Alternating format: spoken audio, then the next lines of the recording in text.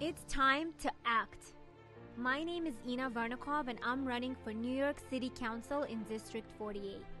I'm running because I was born behind the Iron Curtain, a place where criticism of government policy would land you in jail, a place where anti Semitism and discrimination was a normal part of life, a place where God was a dirty word.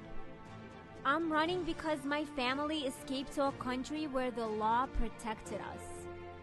From the confines of the Soviet Union to the shores of the New York harbor, America gave my family freedom and hope for a brighter future.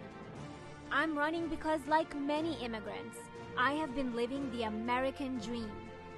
As an attorney, a small business owner, practicing and standing up for my religion were all products of hard work, determination, and my faith in God.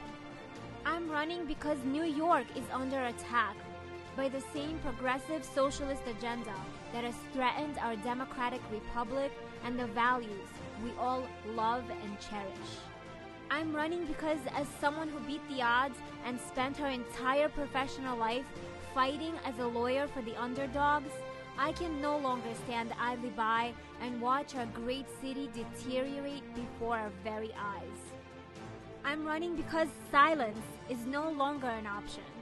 I'm running because fear, uncertainty, confusion, lawlessness, destruction, government control are some of the sentiments people have shared with me as I've walked the streets of the city that I live in and love.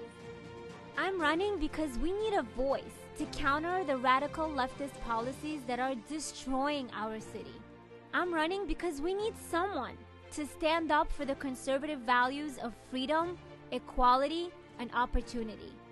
With your support, we can make our great city cleaner, safer, and more affordable for every New Yorker. My name is Inna Vernikov, and I approve this message.